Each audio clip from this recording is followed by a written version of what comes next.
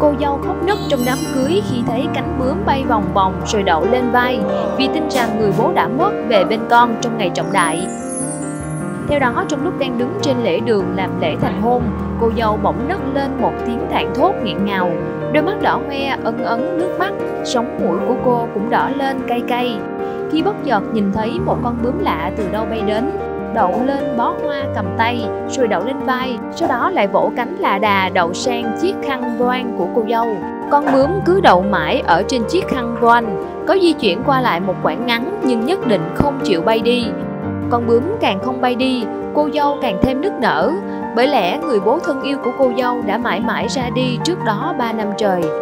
Nỗi nhớ niềm thương dâng lên da diết, nhưng cũng chẳng làm sao tìm gặp lại được hình bóng thân yêu ấy vậy mà ngay trong ngày trọng đại nhất cuộc đời của người con gái, một con bướm bất chợt lại bay về quanh quẩn bên cô dâu, mang theo hơi ấm ngày xưa của người đàn ông yêu thương cô nhất, làm cho cô dâu không khỏi khắc khoải nghĩ đến hình bóng người bố đã mất của mình. Càng nghĩ càng thương thương xong lại nhớ nhớ đến nghẹn ngào nức nở cô gái tin rằng con bướm ấy chính là hiện thân của bố.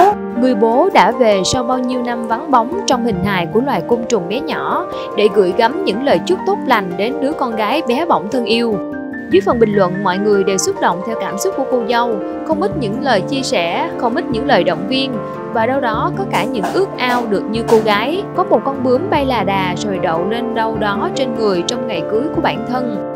Một vài bình luận được cộng đồng mạng để lại, Em cũng mong đến ngày em cưới, ba em cũng sẽ về với em giống như thế này. Lúc mình cưới cũng không còn ba bên cạnh Lúc đó mình không rõ vì sao mình khóc Chỉ biết là tự nhiên nước mắt mình tuôn trào ra Và không sao kìm lại được Cảm ơn các bạn đã quan tâm theo dõi. Đừng quên đăng ký kênh Tin 3 Phút để cập nhật tin tức nóng hổi mỗi ngày.